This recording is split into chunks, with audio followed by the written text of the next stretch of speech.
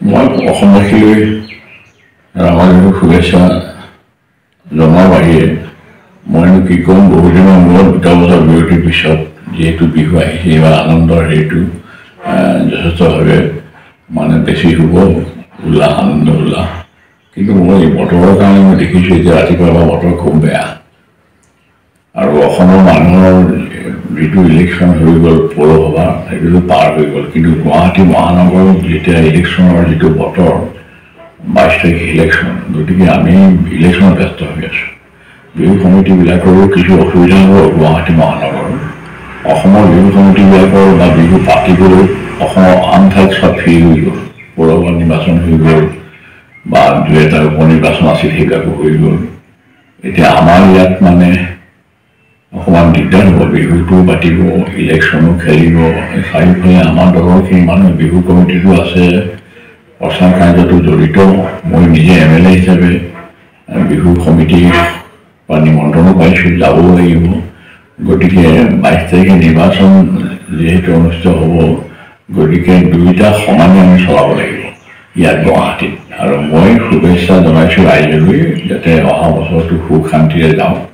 আৰু যোৱা দুটা বছৰ যিহেতু ক'ভিড কৰোণা ভাইৰাছে যিহেতু আমাৰ জাতীয় জীৱনৰ ইমান এটা মহান উৎসৱক যথেষ্ট ক্ষতি কৰিলে উৎসৱটো পালন কৰিব নোৱাৰা মানে অসমীয়া জাতিৰ বাবে এটা দুৰ্ঘটনা।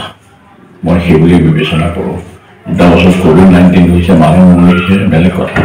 কিন্তু মানুহ ক'ভিডৰ মানুহ ক'ভিডত যিমান তাতকৈ মানুহ মানে আমাৰ এইবিলাক কি কয় আমাৰ কি কয় এইবিলাক শিখৰ খাই ৰজনীগন্ধা খাই মানুহ বেছি মৰিছে।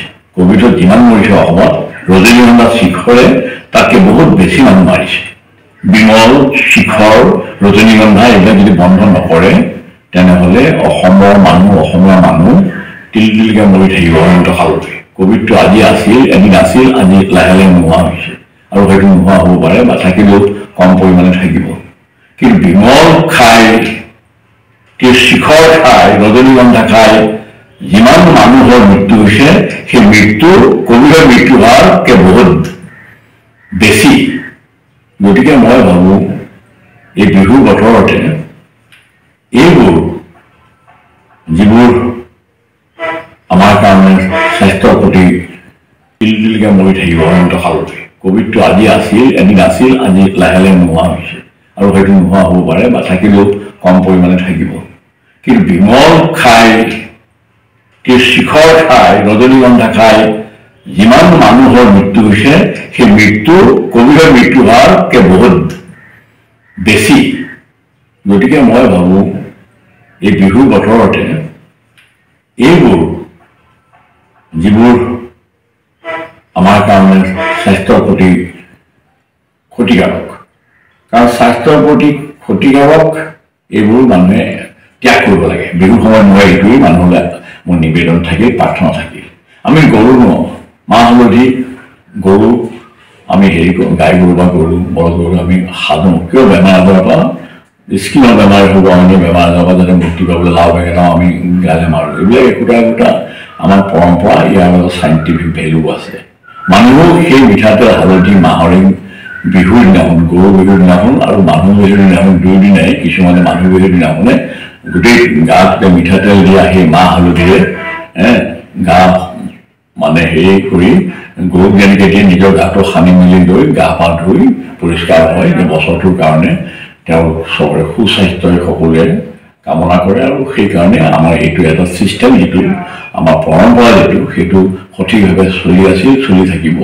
কিন্তু তাৰে ভিতৰতে এইবোৰ যিবোৰ ড্ৰাগছ চাগছলৈ ধৰি চৰকাৰে চবখিনি বন্ধ কৰাৰ কাৰণে নিষিদ্ধ কৰাৰ কাৰণে ইতিমধ্যে বহুত স্মাগলাৰবিলাককো ধৰে অনালে কৰিছে কিন্তু এই বিমল শিখৰ আৰু এই ৰজনীগন্ধা এইবোৰক কি কৰিব? এইবোৰতো বন্ধ কৰিব লাগে। গতিকে মই আহ্বান কৰিম যে মানুহে বিহুৰ পিঠা খাওক ঘিলা পিঠা খাওক তিল পিঠা খাওক চুঙা পিঠা খাওক।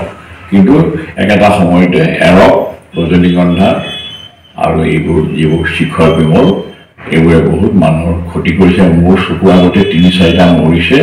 এই আমাৰ ৰজনীগন্ধা খাই মই তেনেকুৱা ধৰণৰ বহু খবৰ মোৰ তালৈ আহি থাকে। এইখিনি আৰু কি ক'ম। আৰু ছাৰ আপোনাৰ আপোনাৰ সমষ্টিত এইবাৰ গুৱাহাটী মিউনিচিপালিটি ইলেকশ্যনত কিমানকেইজনে দিছে? প্ৰত্যেকেইজনে সমষ্টিত মোৰ দিছপুৰ সমষ্টিত আসন হ'ল ৱাৰ্ড হ'ল ওঠৰটা।